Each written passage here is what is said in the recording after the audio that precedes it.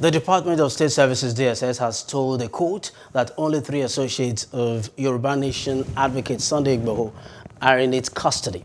This is contrary to 12 people named in a suit filed uh, before a federal high court in Abuja by some lawyers, including Pelumi, Olajengbesi, and Aline Showore after the raid of Igboho's Ibadan residence in Oyo State on July 1.